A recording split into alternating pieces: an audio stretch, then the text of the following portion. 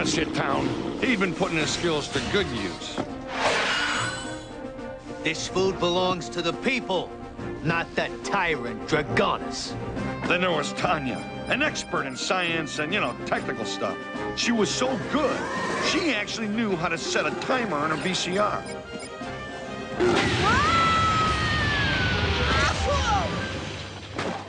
Scratch one oversized toaster oven.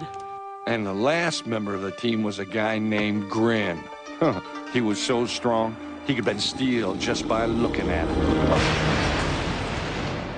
Pain is an illusion.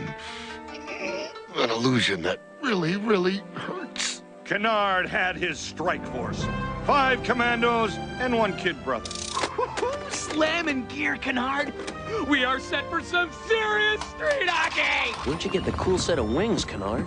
It's the last of the military's Aerowings. They managed to hide it when the monitor towers attacked.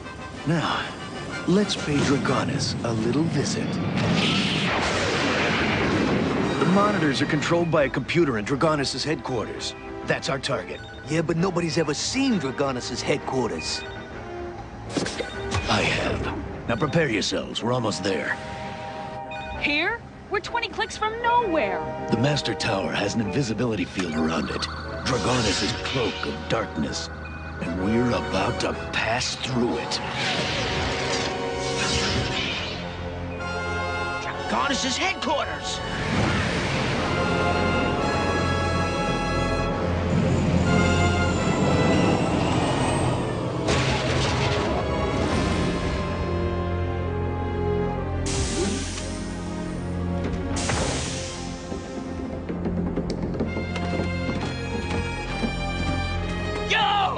Bye.